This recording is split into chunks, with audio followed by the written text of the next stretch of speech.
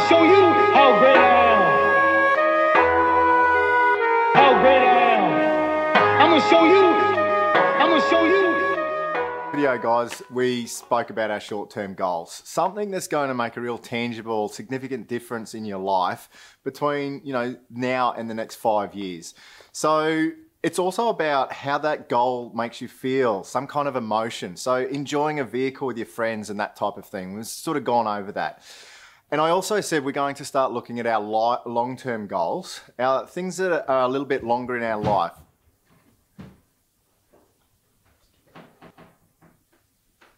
Hello? You'll hear that, won't you? I hear. Yeah. Charlotte! Can you not jump around, please? I said, can you just not jump around, please? Thank you, darling. In our last video, we started speaking about our short-term goals, something that's going to make you know real significant impact in your life. How we're going to start writing them down. So I am or I have around our goals, and also the emotion that that goal makes you feel. So driving a new vehicle, sharing that with your friends, it gives it something more, uh, something that we can grasp onto, a little bit more than just a material object.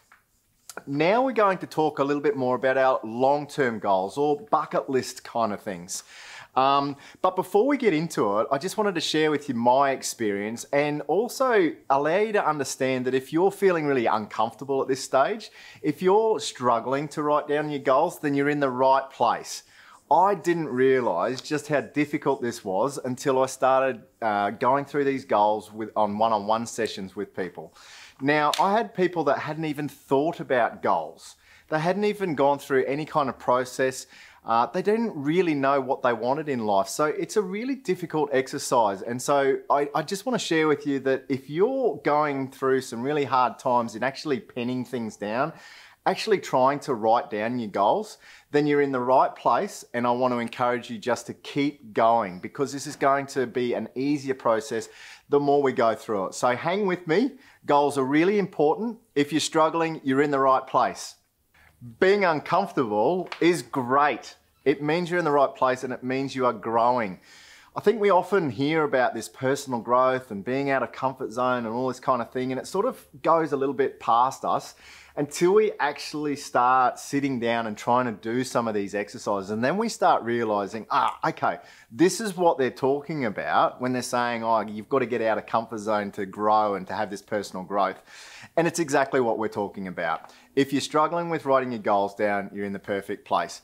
But let's move on from that. We've spoken about our short term goals. These are things between now and the next five years.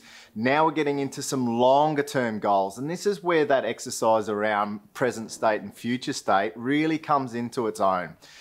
So you need to dream big with your long term goals. If you had unlimited finances and unlimited time on your hands, what would you be doing in your life? It could be something about, you know, traveling to developing countries and helping other people and that type of thing.